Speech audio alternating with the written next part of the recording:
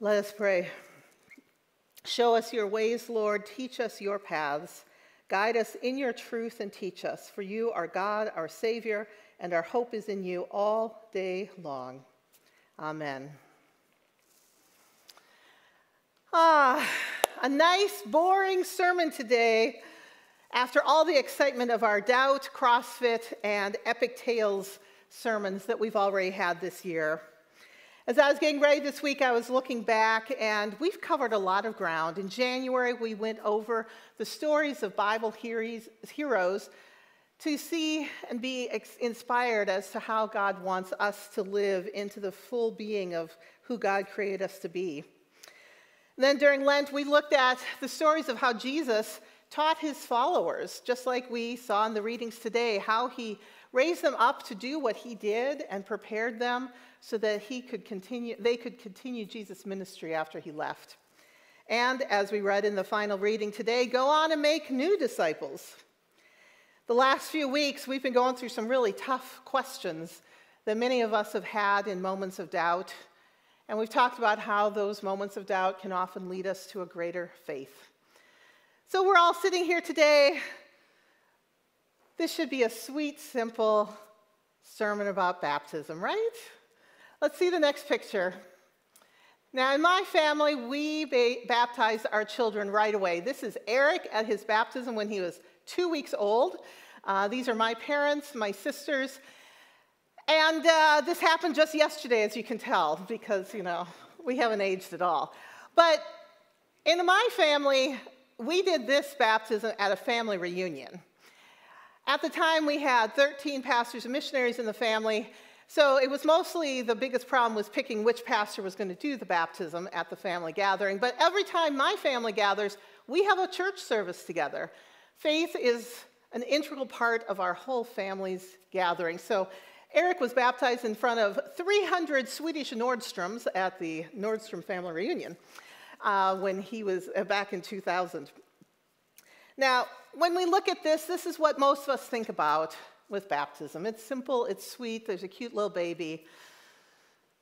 There's no controversy, there's no conflict, right? What else do we need to say? Sermon is over.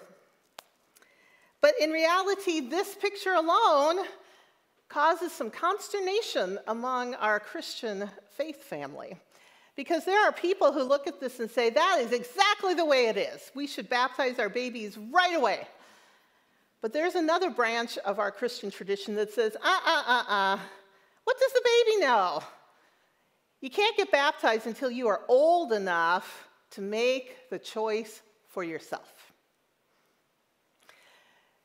Two branches of Christianity, churches have split over this. People got kicked out of countries over this. And uh, there was definitely a lot of very heated discussions, quite similar in emotion and power to the big fight we've been having over human sexuality and marriage and ordination in our denomination over the past few years. Now, we look at baptism and we don't have that emotional feeling of conflict because this is a conflict that was resolved a while ago. We've agreed to disagree as a church. We still have denominations that do infant baptism. We still have denominations that do adult believer baptism. And the Methodist way, we do it all. We baptize you whatever age you are. If you want to be in the Methodist church and you want your children to be baptized, we'll do that. If you want your kids to wait until they're older, if you decide to wait till you're older, it's all fine. The Methodist method is we baptize anyone, whatever age.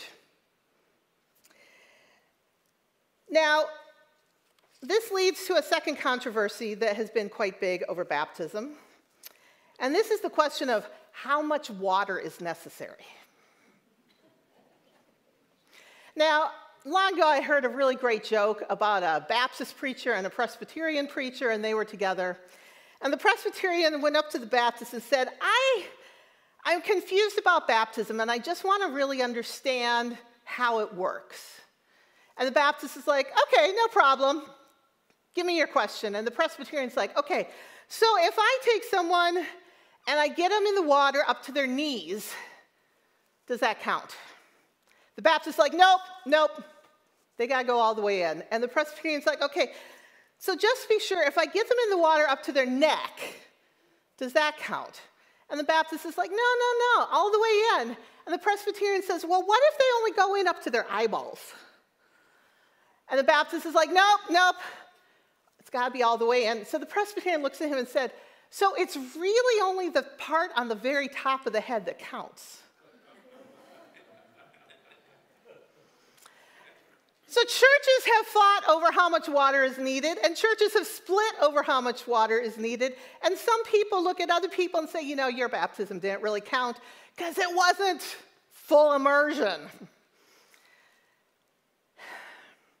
Now, in the earliest days of baptism, in the Jewish tradition, they had something similar to baptism. It wasn't the same, but they always had running water for it. They had water that was flowing through, like a stream or some other system where the water was flowing, because back then they didn't have chlorine. If you had still water, it became stagnant quickly. So living water was water that was moving, because water that wasn't moving could make you sick and could kill you. So in the earliest days, people used rivers, or maybe they went to lakes. Eventually, we started meeting inside churches and we started getting smaller fonts I won't show you just how small the bowl is inside this font. And we started doing the sprinkling on top. So some people were still like, nope, it doesn't count if you don't do full immersion. And some people are like, but this is so nice and neat, and it fits inside the sanctuary well. So the Methodist method, what do we do? We'll use as much water as you want. I have done baptisms in swimming pools. If you want a full immersion baptism, just call me, let me know when and where, and we'll get you taken care of. This Wednesday, we're actually having a baptism during confirmation for one of our students, and he has selected to do pouring, and so we will be outside with a big tin and a big pitcher, and we will pour a whole bunch of water over him. And if you want to get uh, baptized in here, we can, we have water, we are ready. So, as Methodists, we will baptize anyone of any age. We will use as much water as you want. And as we think about this, perhaps we start realizing that baptism isn't as sweet and simple as we like to think. But regardless of when and where you're baptized, the third thing that I want us to remember about our Methodist tradition is that we believe in one baptism. Now, this is a line that's out of the Apostles' Creed. A lot of Christian traditions believe in one baptism for the forgiveness of sins. But there are some Christian traditions who, if you were not the age they expected or didn't use the amount of water expected, they believe that perhaps you should be rebaptized just to make sure it took correctly. I want to honor and respect all of the Christian traditions around baptism, and as Methodists, we do. It doesn't matter if you were baptized someplace else, if it was Roman Catholic, if it was Baptist, if it was Orthodox, if you've been baptized at whatever age, with whatever amount of water, we respect and honor that baptism. We believe in one baptism. Next slide, please. Now, setting aside these nuts and bolts of how we do baptism, the real question is what is God doing in baptism because it is easy for us to focus on the nuts and bolts. It's easy for us to decide what age should be, we be, and it's easy for us to decide how much water we're going to use because those are the things we have control over. And we kind of like being in control, and we like doing the things that we have control over. You know, we can decide, I'm bringing in a tank and we're doing a baptism in the yard. We can say we're going to the Suamico River. I don't know that anyone wants to go to the Suamico River, but those are the things we control. And we tend to like to do the things that we can control. So, where is God in this? Because is it really about the age or the amount of water? What is God doing? God is forgiving our sins. And God is claiming us for God's family. God gives us a role to play, God gives us free will. So we get to choose whether we're going to accept the gift of grace and salvation. With free will, we can say, you know, God, not for me, and we can turn away. We do have that choice. But God invites us to turn toward God to say, Yes, Lord, I need your grace. I want your grace. I will receive your grace. Now, the Church of England, which is the church the Methodists used to be part of, that's where we started out, they have a phrase that our sacraments of baptism and communion are outward signs of an inward grace. It is hard for us to see what God is doing in us through baptism and communion.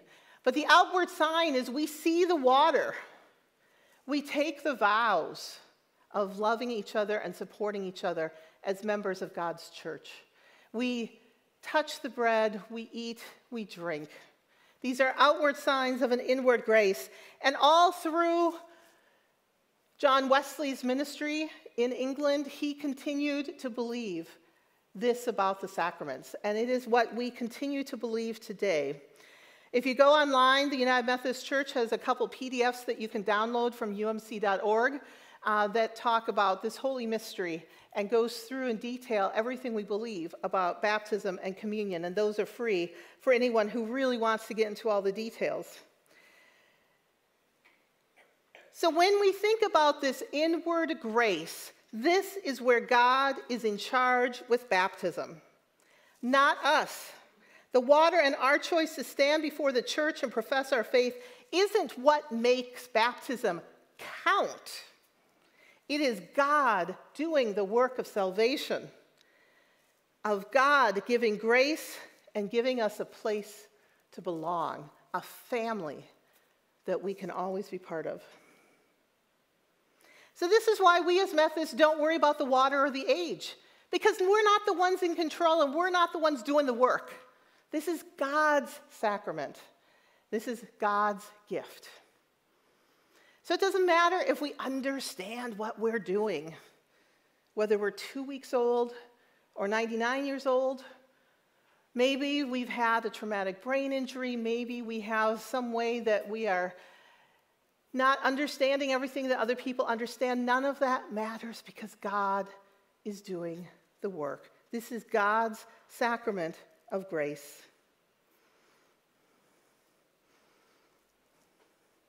Now, many of you know that I and the worship team plan out our worship series months in advance. And so some of you are like, okay, so Pastor, why are you talking about baptism now? And one of the things that has really struck me as I've been getting to know people in the Suamico area since moving here two years ago and something that I keep seeing in my news feeds is that one of the biggest issues facing people in this community and around the world right now is loneliness. As I've been meeting people here, I hear about people who've been transferred here for work and they've gotten a house in the Howard Suamico area.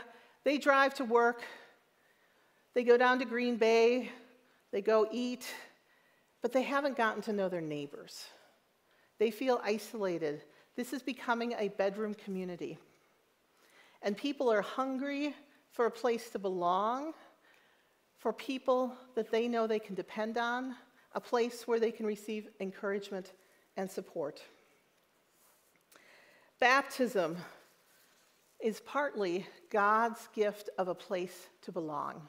It is a people that we become a part of, a people that includes the saints who've gone before us, the saints that are still to come.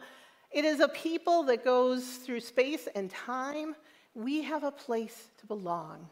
And this is a message that is needed in the world today.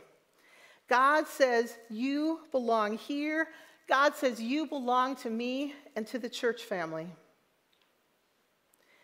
We read how in the waters of the Jordan River, God said to Jesus, This is my beloved Son, in whom I find happiness. Some of us are used to translation, In whom I am well pleased. The message that so many people need to hear right now is that there is a God, God loves you, and God is pleased with you. God finds happiness in you. Through the waters of baptism, God doesn't just say this to Jesus, God says this to every one of us. God finds happiness in you. There are people outside these walls who need to hear this message. There are people inside these walls who need to be reminded of this message because they are going through a struggle where they feel disconnected and isolated.